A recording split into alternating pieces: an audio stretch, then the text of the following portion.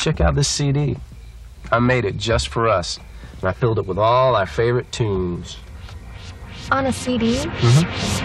How did you manage that?